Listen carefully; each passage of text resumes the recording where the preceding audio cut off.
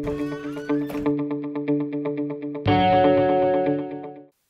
الله الرحمن الرحيم وصلى الله على سيدنا محمد وآله وصحبه وسلم تسليما.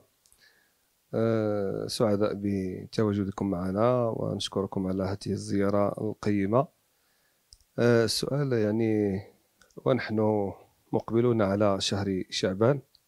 شهر شعبان شهر عظيم كان يستعد فيه رسول الله صلى الله عليه وسلم. وكان يحييه بصيام أيامه تقريبا كلها. ولذلك آه، أمنا عائشة رضي الله عنها لما سئلت عن صيام رسول الله صلى الله عليه وسلم وكيف كان يستعد لرمضان انطلاقا من شعبان الذي نحن مقبلون عليه بعد أيام إن شاء الله تبارك وتعالى. يعني قالت كان يصوم شعبان كله إلا قليلا. يعني لم يصوم صلى الله عليه وسلم شعبان كله آه، الشهر كله وإنما كان يصوم آه، أغلب أيامه. كان يصوم كان يصوم شعبان كله إلا قليلا. هذا كله كان يفعله الحبيب المصطفى صلى الله عليه وسلم آه، استعدادا لرمضان. وهذه رسالة رسالة إلى الناس جميعا. بما في ذلك الشباب وجميع الناس. يعني هكذا هذا هو أفضل وجه وأحسن وجه للاستعداد لرمضان. الإنسان يستعد بالصيام.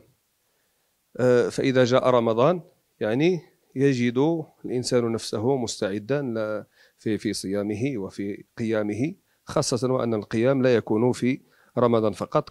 كذلك الصيام لا يكون في في رمضان فقط وإنما يكون في سائر الأيام من ذلك الاثنين والخميس وأيام البيض. وهكذا دائما الإنسان المسلم دائما في في دائما مرتبط بالصيام مرتبط بعبادة بعبادة الصيام وبنافلة القيام.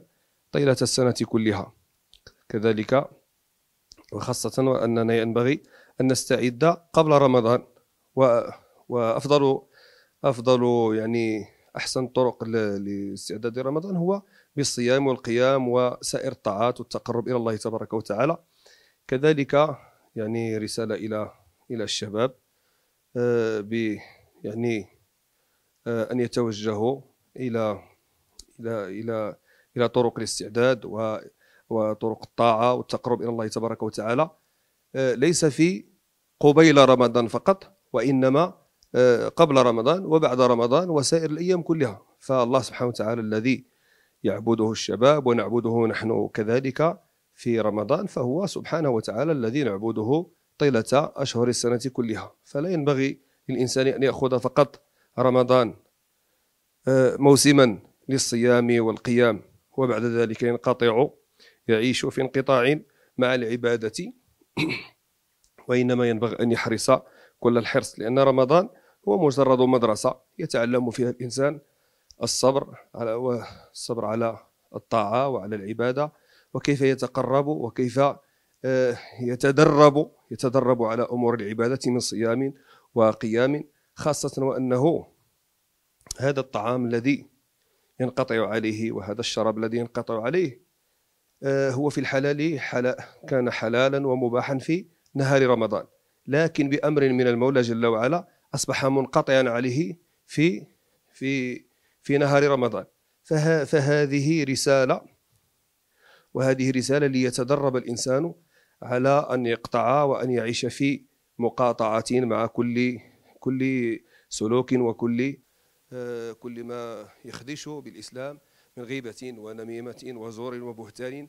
يعني فإذا كان الإنسان الطعام الذي هو مباح يعيش معه في في انقطاع فهذا مجرد رسالة لكي ينقطع مع الموبقات كلها وأن يتوجه وأن يقترب إلى الله تبارك وتعالى وأن يجتهد في تقربه إلى الله تبارك وتعالى في في أشهر السنة كلها خاصة أن الصحابة رضوان الله عليهم السلف الصالح كانوا يطلبون الله عز وجل قبل رمضان ستة أشهر أن يبلغهم رمضان. ثم يطلبونه بعد ذلك ستة أشهر ليتقبل منهم رمضان. وكان من دعائهم آه، رضي الله عنهم وأرضاهم اللهم سلمنا إلى رمضان وسلم لنا رمضان وتسلمه منا متقبلا.